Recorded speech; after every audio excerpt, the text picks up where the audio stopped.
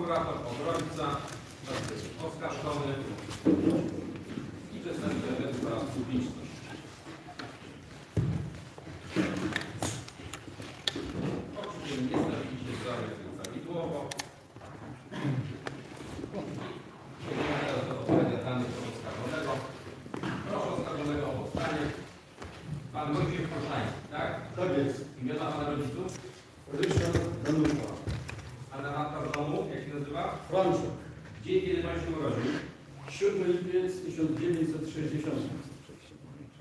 zamieszkały w Warszawie, Boryszowa.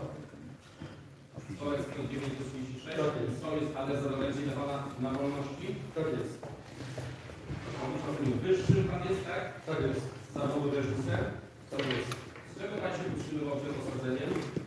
Z działań artystycznych, reżyserowania spektakli teatralnych, wydarzeń estradowych i rekonstrukcji wydarzeń historycznych. Średnie dochody miesięczne do tego? Bardzo różne. Średnie, tak no, nigdy tego nie liczyłem, ale myślę, że w skali roku mogłoby się zamknąć y, 5 tysięcy w jednym roku, a w drugim roku na przykład 20 tysięcy. To już nie bywało. Średniej pan nie jest w stanie? Panie, y, panie, panie sędzio, to było tak, że y, to jest bardzo wysokie ryzyko zawodowe. Raz się zarabia, raz się żebrze. Różnie. Nie jest pan w stanie podać.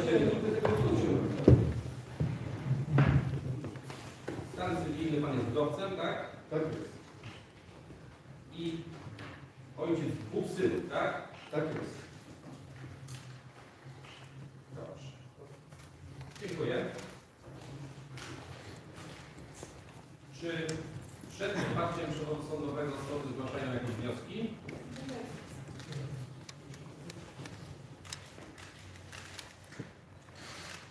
Wobec powyższego otwieram przewód sądowy i proszę o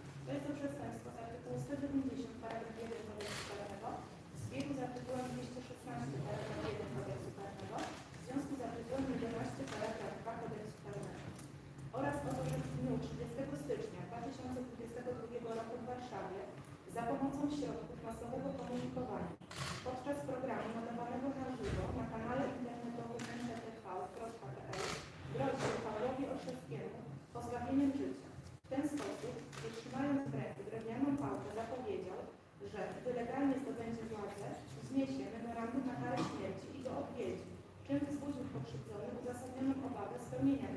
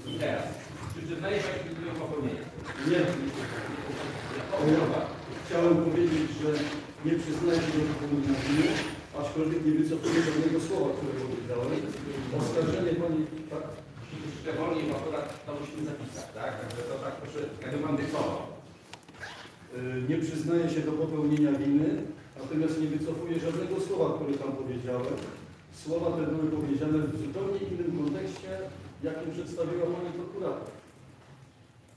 Y, Konkretnie, nie nawoływałem, Ja w kontekście nie powiedziała pani prokurator. I teraz, nie nawoływałem, chwila, teraz tak. tak? Bo pan już złożył oświadczenie, co do tego, czy pan się przyznaje, czy nie. E, I teraz, ja pana pouczam, że jako osoba oskarżona ma pan prawo złożyć wyjaśnienia, ale bez podania powodu ma pan prawo do odmowy składania wyjaśnień. Czy pan chce złożyć wyjaśnienia? Y, Oczywiście, że chcę. Dobrze. Czy będzie pan odpowiadał na pytania sądu i prokuratora? Bo może pan odmówić.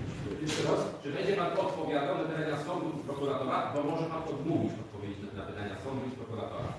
Na wszystkie pytania sądu i prokuratora będę odpowiadał. Dobrze. I teraz proszę przejść do wyjaśnień. Y,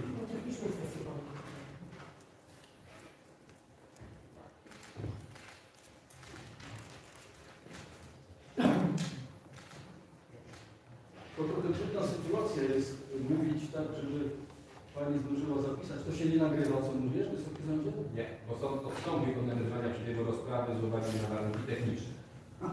To może zróbmy tak, że ja będę dyktował to, co Pan mówi, e, a Pan, jeśli uzna, że jest coś nie tak, jak Pan powiedział, to od razu mi zwróciłem. Jak się zahaczy, to poprawi. No to proszę bardzo.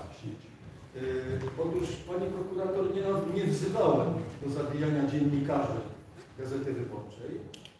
Wyraźnie powiedziałem, Nie wzywałem do zabijania dziennikarzy Gazety Wyborczej. że donosiciele, którzy doniosą Gazecie Wyborczej o moich słowach, Powiedziałem wyraźnie, że donosiciele, którzy, którzy doniosą Gazecie Wyborczej po moich słowach,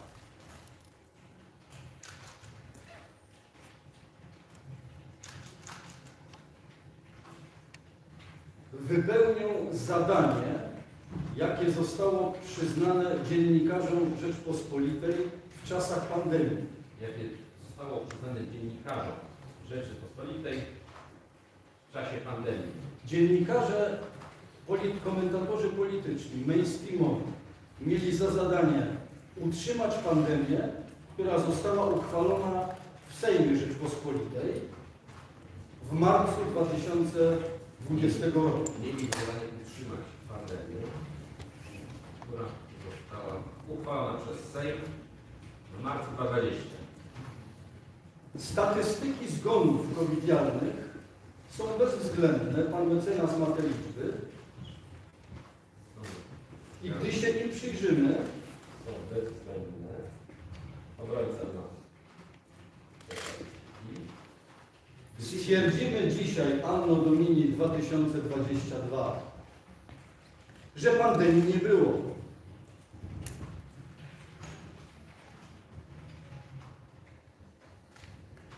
Że pandemii nie było.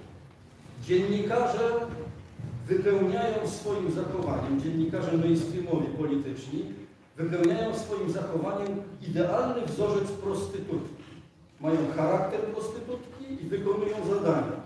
do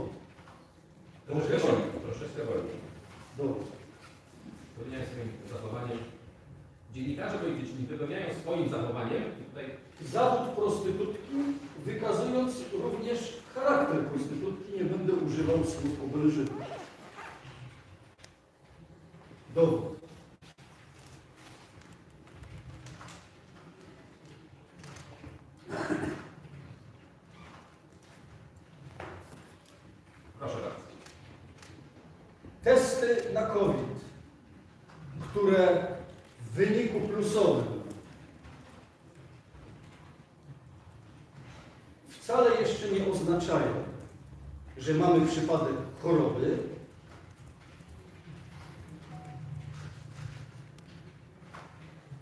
jednoznacznie były przedstawiane przez dziennikarzy jako stan zakażenia.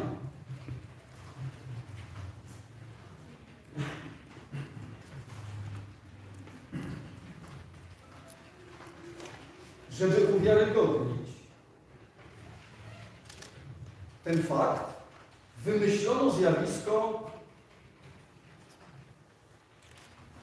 choroby bezobjawowej. Nasze wnuki będą się zarykiwać ze śmiechu nad naszą głupotą. Choroba bezobjawowa, czyli potencjalnie wszyscy jesteśmy chorzy, tylko niektórzy z nas mają test ujemny. Nasze wnuki będą się Zaśmiewać do rozpuku z naszej infantylności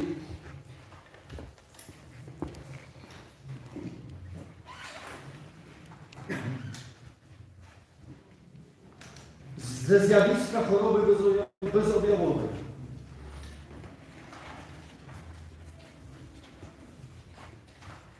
Dziennikarze również podawali zgony w Polsce jako zgony covidialne.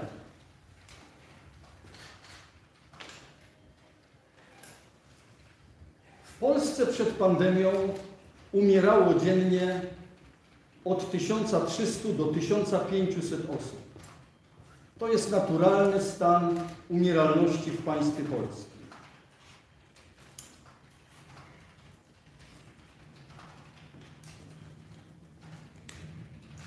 Nikt tego wcześniej nie podawał do wiadomości i nikogo to nie interesowało.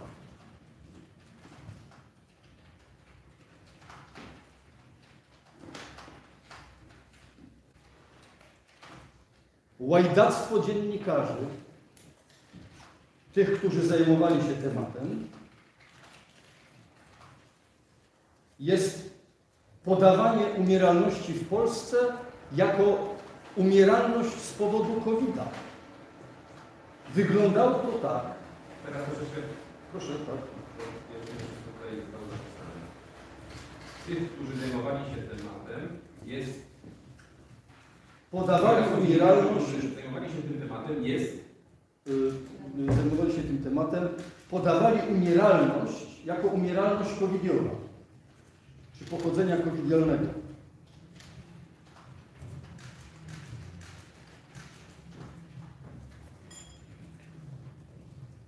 Na końcu informacji dziennikarz, dziennikarka mówili wystraszonej publice, że wczoraj zmarło 1500, 1300, 1100 osób.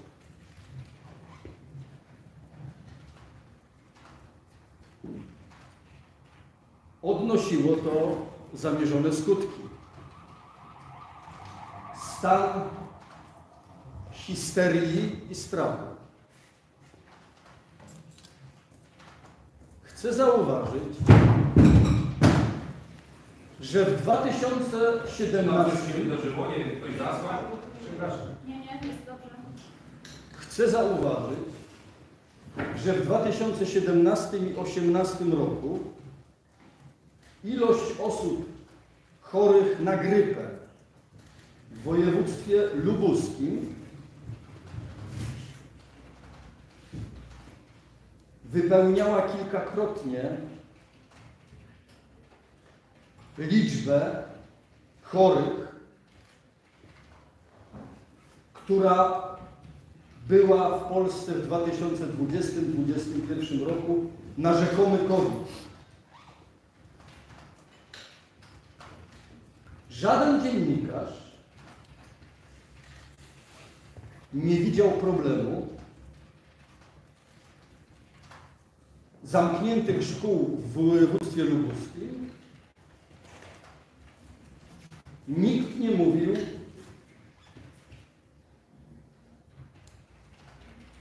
o pandemii grypy.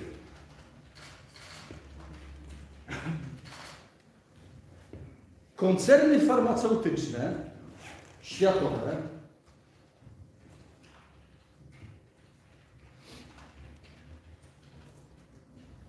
wytworzyły zapotrzebowanie na szczepionkę tak zwaną,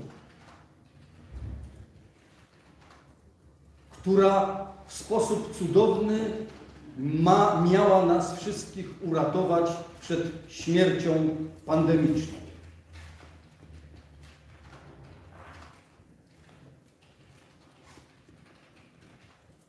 Przy czym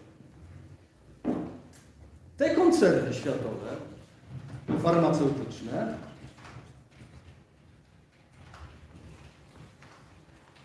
zażądały od rządów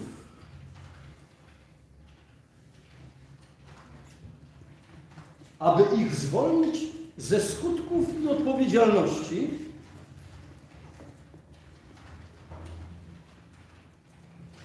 jeśli te preparaty zwane szczepionkami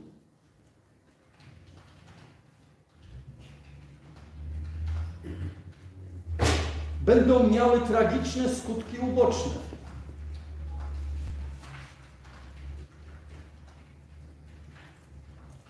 I władza w naszym państwie, jak również opozycja,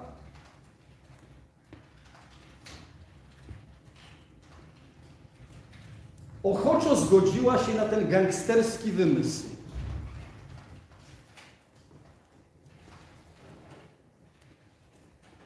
Nie muszę dodawać, że zasłodzone napoje gazowane firmy biorą odpowiedzialność, które je produkują. A cóż dopiero za preparat zwany szczepionką,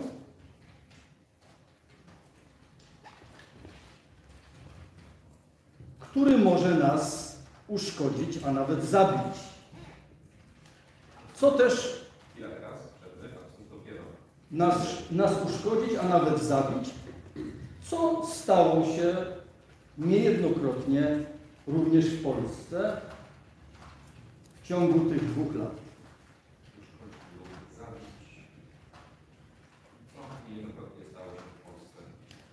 Żaden dziennikarz z Gazety Wyborczej, na przykład z Gazety Wyborczej, żaden dziennikarz z tak zwanych mediów mainstreamowych,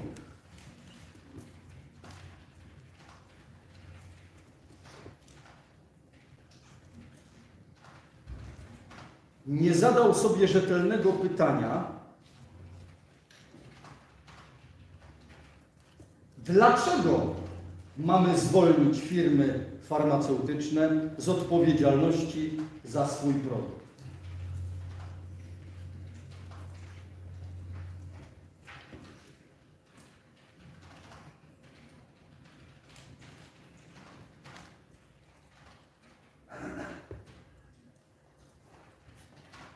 W oczekiwaniu jak na zbawiciela, na preparat zwany szczepionką,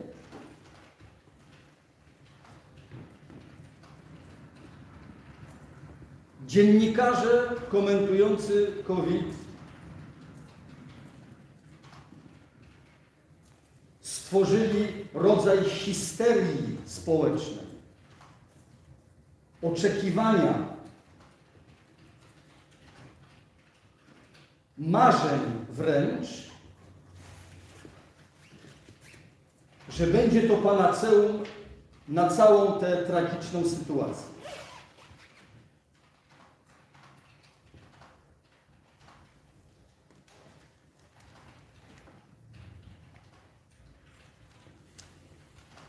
Tymczasem dzień za dniem podtrzymywano w naszej świadomości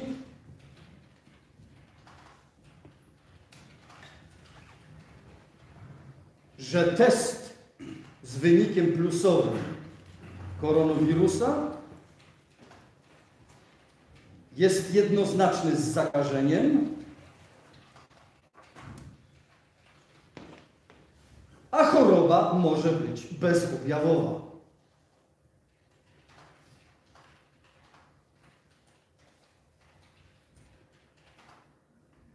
Władza i opozycja w sposób wręcz cudowny, jak nigdy,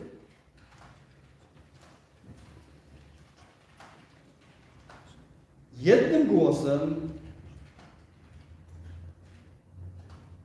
skandowała: Szczepienia mają być obowiązkowe. Tylko wtedy złamiemy zagrożenie pandemiczne. Dodam, żeby nie umknęło, zwalniając firmy farmaceutyczne z odpowiedzialności za tragiczne skutki uboczne.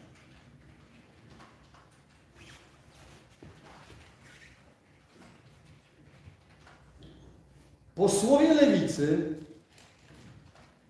a rozumiem przez lewicę posłów z lewicy, z Platformy Obywatelskiej, z PSL-u i z Polska 250 wręcz nawoływali do przymusu szczepień. Niejednokrotnie. Komisja Zdrowia przy Sejmie zachowywała się jak trybunał inkwizycyjny,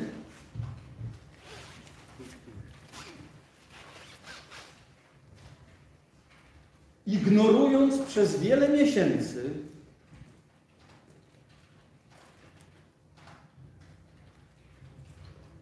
rzetelne głosy lekarzy, naukowców, nie tylko z Polski, ale i z całego świata.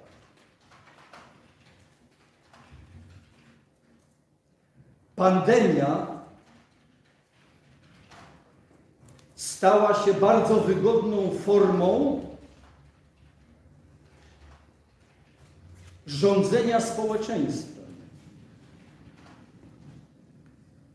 Muszę tu zaznaczyć, że przymus noszenia tak zwanej, z obrzydzeniem to podkreślam, maseczki był zabiegiem wysoce psychologicznym, mistrzowskim,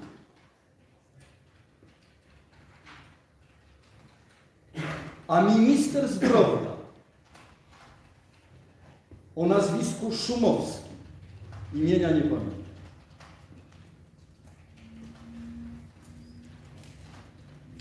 przed pandemią zapytany, do czego służy maseczka, przez dziennikarza RMF FM,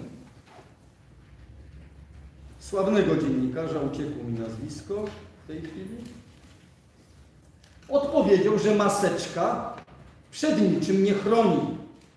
Przypomnę, jest to profesor medycyny, kardiolog. Powiedział to przed uchwaleniem przez Sejm pandemii w Rzeczpospolitej.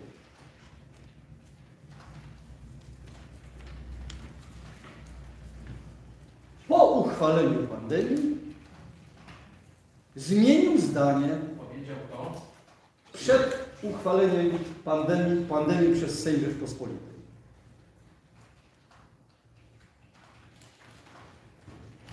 Po uchwaleniu pandemii zmienił zdanie. Stwierdził, że maska jest obowiązkowa i wydał rozporządzenie o obowiązku jej noszenia.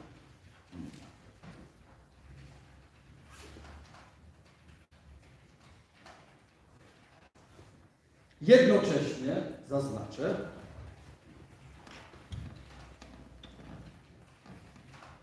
tenże człowiek o nazwisku Szumowski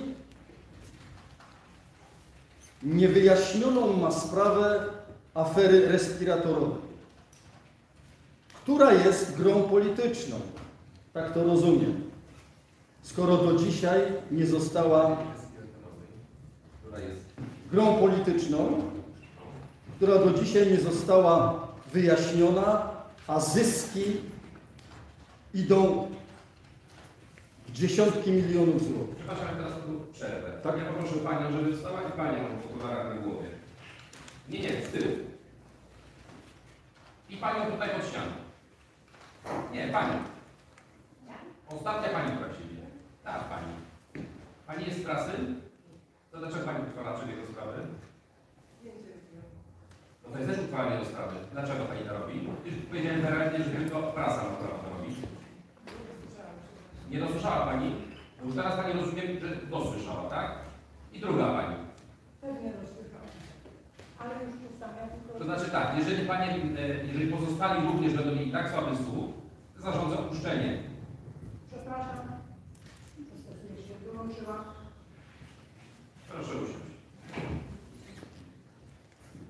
I teraz y, ostatnie zdanie, żeby tutaj Yy, Szumowskiej wiedziano o aferę aferę respiratorowej, która jest y, grą polityczną, która do dzisiaj nie została wyjaśniona, a zyski idą w dziesiątki. milionów. Z tego co mi wiadomo, mogę się mylić na swoją niekorzyść.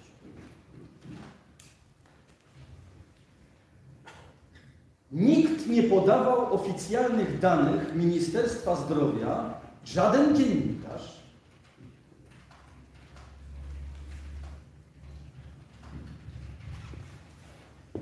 o ilości faktycznie zmarłych ludzi. Z powodu tak zwanego koronawirusa.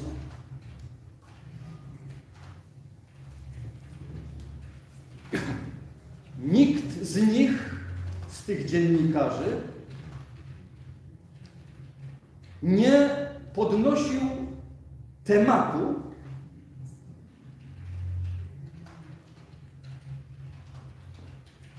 który był tematem ulicy i świadomości społecznej,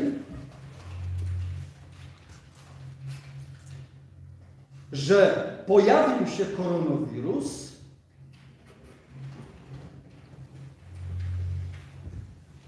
a umarła grypa.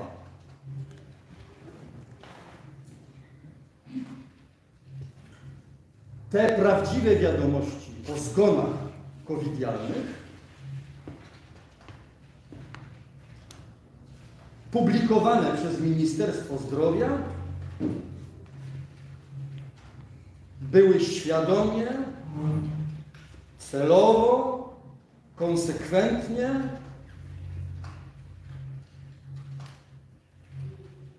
pomijane przez media związane z władzą, jak i związane z opozycją.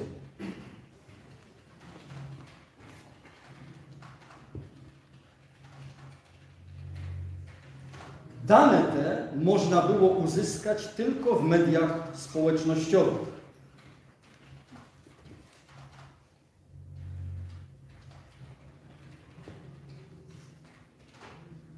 Które to media społecznościowe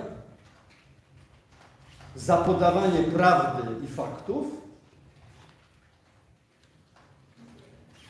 były przez organizacje lewicowe, lewackie, tak ich określę, zgłaszane jako naruszenie umowy społecznej i ich konta internetowe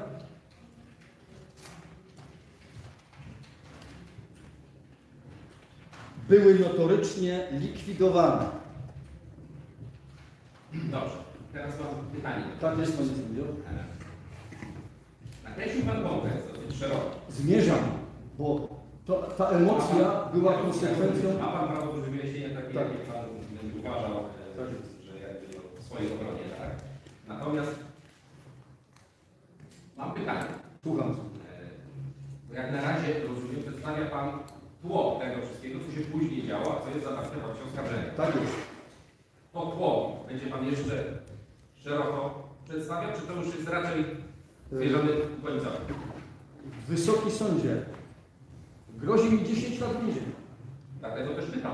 Dlatego y, możemy zrobić taką opcję, że Wysoki Sąd wyłączy mnie z procesu, zostanie pan mecenas, Yy, Bo jeśli nie będę mógł powiedzieć tego, co spowodowało, że jako 62-letni człowiek, artysta i reżyser, doświadczony tym, że żadne argumenty grzeczne, kulturalne nie dochodzą do gangsterów, którzy uważają się za posłów i rządzących, że trzeba użyć innego środka, żeby wzbudzić ich ludzkie No myślenie.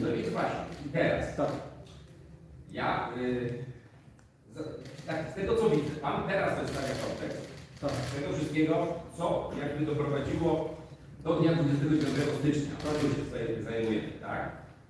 I tak jak powiedziałem, ma Pan prawo, ja nie chcę w żaden sposób Panu tego prawa ograniczać. Bardzo dziękuję. powiedział, że wyłączyć Pana z procesu, no bo ten proces bez Pana jakby to oczywiście chyba nie może. Dziękuję Panie. Jest Pan osobą najbardziej zainteresowaną tak jest. Natomiast pytanie brzmi, tylko i wyłącznie takie to jest techniczne. Czy Pan przewiduje jeszcze jakby dużo tych wyjaśnień odnośnie kontekstu? Czy wie Pan, że nie konkretnie do Proszę sądu. y, Zwięzłość jest bardzo potrzebna. Dziękuję. y, Zmierzam do, y, do celu. Proszę. W zakresie tego tematu, tak. Zaczęliśmy drugiego. Tak. Mm, Czy Pani może mi ostatnie zdanie? Ostatnie zdanie. Lewacje zgłaszane jako naruszenie umowy społecznej i ich konta internetowe były notorycznie likwidowane. Tak.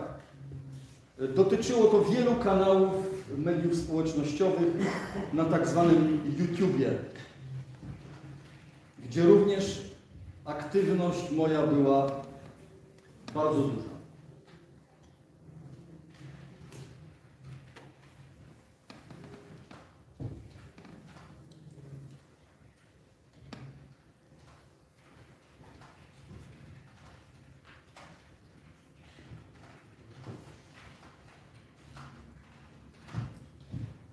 Opozycja i władza, widząc jednak pewną nieskuteczność swoich działań,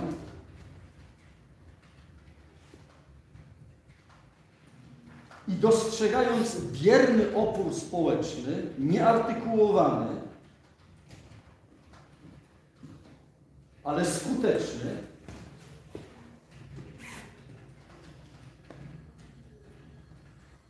zapragnęła ustawy, która da im w ręce, w rękę instrument pozwalający nas złapać krótko za twarz.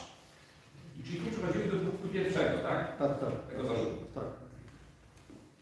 Krótko za twarz i zmusić nas do zachowań, które będą podtrzymywały histerię pandemiczną.